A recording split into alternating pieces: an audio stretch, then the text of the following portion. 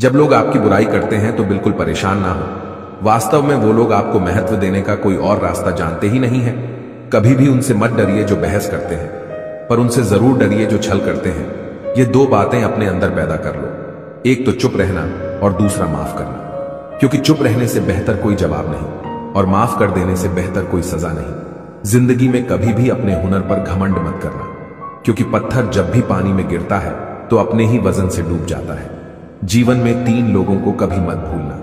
पहला मुसीबत में साथ देने वालों को और दूसरा मुसीबत में साथ छोड़ने वालों को और तीसरा मुसीबत में डालने वालों को। जहाँ दूसरों को समझाना कठिन हो, वह खुद को समझा लेना ही बेहतर होता है।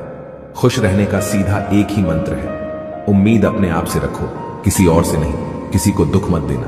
किसी को उजाड़ कर बसे तो क्या बसे, किसी को रुलाकर हंसे तो क्या हंसे। दूसरों की जिंदगियों में झांकने से कुछ नहीं मिलने वाला। यकीन मानिए आपकी ज़िंदगी में ऐसा बहुत कुछ है जो इंतज़ार कर रहा है कि आप अपनी ज़िंदगी में झाँक रिश्ते निभाते निभाते बस एक ही बात समझ आई कि अगर किसी को हद से ज़्यादा प्यार करोगे तो वो इंसान तुम्हें रद्द के भाव समझ लेगा। ज़रूरत से ज़्यादा सब्र करना भी मानसिक तनाव बन जाता है। परिवार में मीठे बनकर चालाकियाँ करने वाले लोग एक दिन ज़िंदगी में अकेले खड़े नज़र आते हैं। अपनी बातों से पलटने वाले लोग खुद के भी सगे नहीं होते हैं। इंसान की नज़र में जो पैसा दे सके, वही रिश्तेदार है, और जो ना दे पाए, वो बिल्कुल बेकार है। ये दुनिया बहुत मतलबी है। यहाँ मतलब खत्म। तो समझो रिश्ता खत्म। आपका किरदार कितना भी साफ़ क्यों ना हो। लोग आपके बारे में वही सोचेंगे जो उनके मन में होगा, जिनके जवाब तक नहीं मिलते थे। उनके सलाम आने लगे। वक्त बदलते ही निम पर भी आम आने लगे। इंसान चाहे अंदर से कितना भी भरा हो, लेकिन प्रेम के लिए हमेशा खाली ही रहता है। देर लगती है, मगर समझ आ जाता है कि कौन कैसा है। नज़र आ ही जाता है। दिखावा करते हैं। कुछ लोग अपनेपन का, लेकिन वक्त आने पर सब समझ आ ही जाता है। मन जैसा भिखारी दुनिया में आपको कहीं नहीं मिलेगा। बंद कर दिया सांपों को सपेरे ने।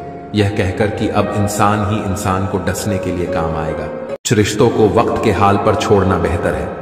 आखिर वक्त ही बताएगा। उन्हें संभालना है या अधूरा छोड़ना है। यह कलयुग है। यहाँ लोग खुद की परेशानी से कम, बल्कि दूसरों की खुशी से ज़्यादा दुखी होते हैं। हमने उनको भी जाते देखा है, जो ज़िंदगी भर रुकने का वादा करते थे।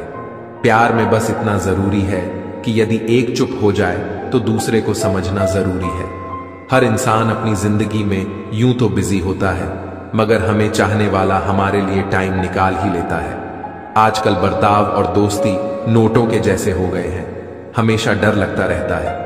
कहीं नकली तो नहीं है। शुक्र करने वाला कभी गरीब नहीं होता और सब्र करने वाला कभी नाकाम नहीं होता। शिकायत कितनी भी कर लो, शिकायतों से घर नहीं चलता। फिर उम्र चाहे जो भी हो, कमाना तो पड़ता है। खुद पर भरोसा करना परिंदों से सीखो। जब वो शाम को घर लौटते हैं तो उनकी चोंच में कल के लिए कोई दाना नहीं होता। बुरे वक्त में अपनों के ताने, दोस्तों के बहाने और गम भरे गाने रोज सुनने पड़ते हैं। घाव कभी कभी इतने गहरे हो जाते हैं कि ज़िंदगी खत्म हो जाती है, मगर घाव नहीं भरते हैं। शब्दों के दांत नहीं होते, मगर यह याद रखना कि जब यह काटते हैं तो बहुत दर्द होता है। दोस्तों, मेरी बातें अगर आपको अच्छी लगी हो तो कमेंट में यस ज़रूर लिखें। धन्यवाद।